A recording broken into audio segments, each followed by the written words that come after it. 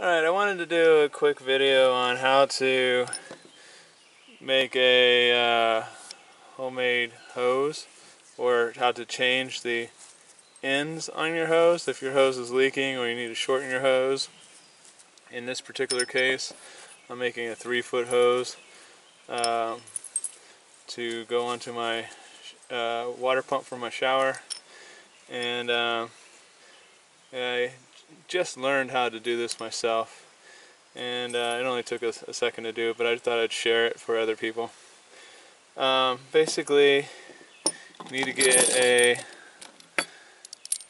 uh, piece like this. This is the male end. This is the female end that I've already installed and a uh, bracket that goes over it that clamps it down. I don't know what the parts are called so we'll just have to figure that out on your own. So you, uh, in order to shove the female part in, which I think it's easier to do the female side in first, you want to screw the female to the male in like this so that you can actually have something to push down on because if you don't the uh, female part, this part right here will slide and actually slide off of the ring here. So, uh, well not slide off, but it'll slide all the way back to here so that you can't push it down all the way into the hose as far in as you need. So by screwing it on just finger tight like this, it keeps it back off of the, uh, the nipple that the hose is going to go over so that you can work it in. You also want to lubricate the end piece there. So that uh, I'll go ahead and take this off.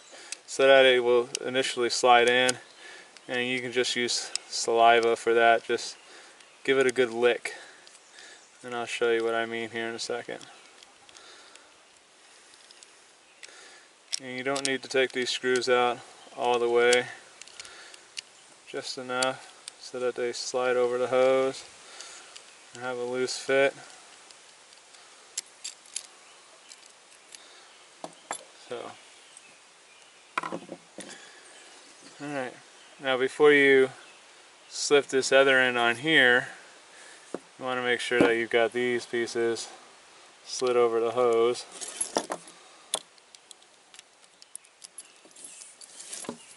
Like that, because you want to slide them over there and screw them down later.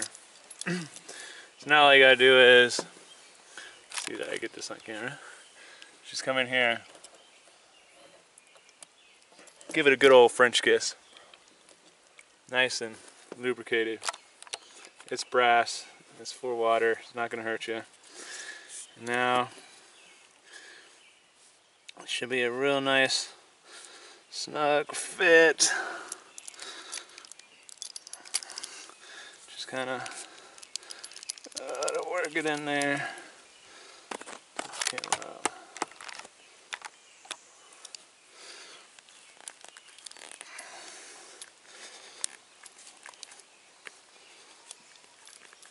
kind of wiggle it back and forth a little bit.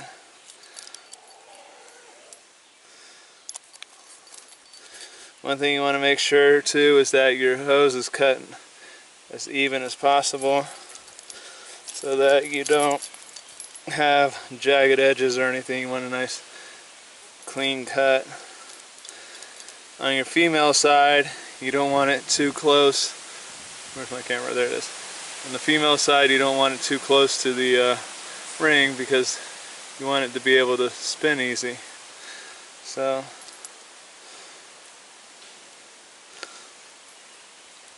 make sure you have, have the ability to rotate it nice and easy. And I'm going to go ahead and leave it because I'm working with just a small section of hose.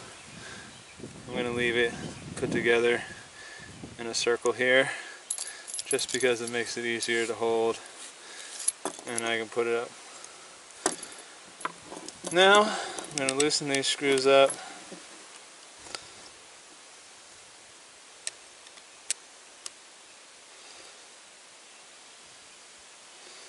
Hopefully uh, just enough to slip them over.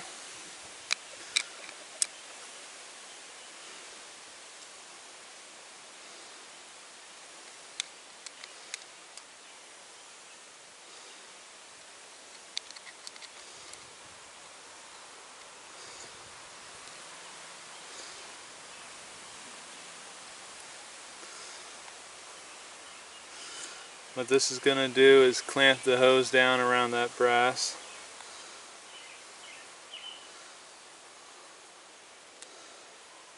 Now you want to tighten them up. Make sure you tighten them up nice and evenly on both sides.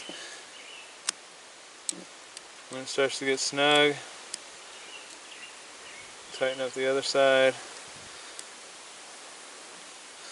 Then when it's snug, give it two or three turns. And then go to the other side and give it two or three turns.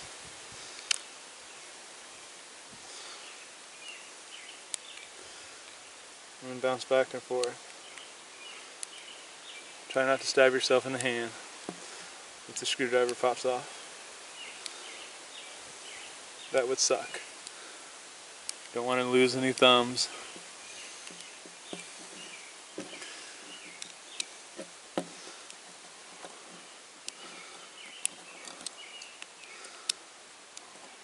Hopefully you don't strip the screw out.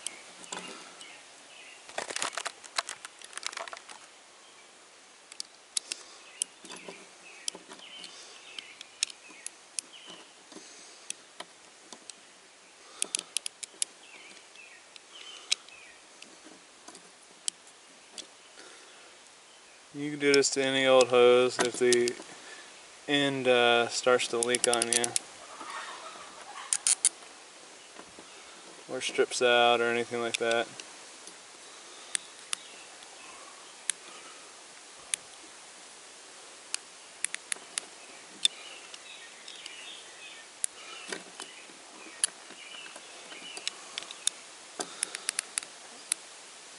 Alright, I that's as tight as that's going to get.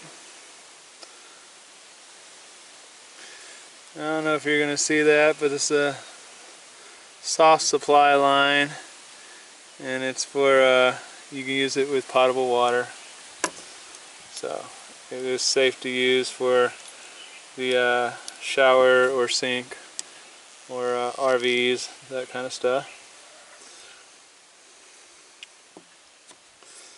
Alright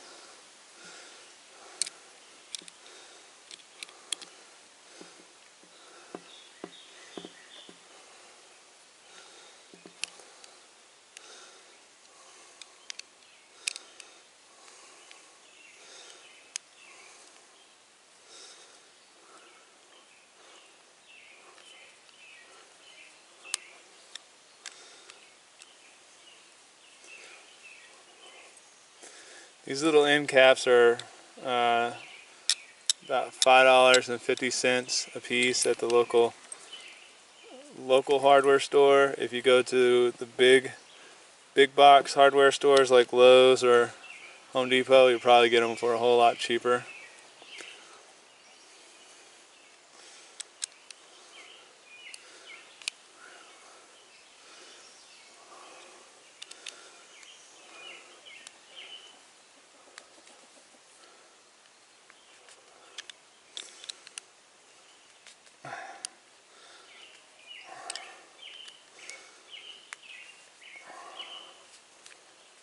Alright.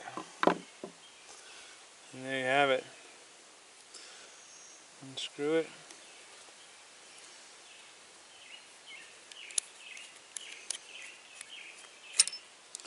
There's my th homemade DIY hose. Three foot hose. And this is the rubber washer. Make sure you always get one of those. And you have it pumped in, popped in there you're good to go. This will run from my water pump to the cold line on my shower. And I'll have one that's much longer that'll go from the hot water end on the pump to the shower as well. And then one from the uh, uh, sink cold line and, and uh, sink hot line also. and uh, later on once I get everything installed I'll show you I'll show you that whole setup so. Alrighty I just wanted to show you how I was doing the connectors. I'm gonna go ahead and connect these pieces temporarily so that I don't lose my rubber washer seal in there. And there you have it. Thanks for watching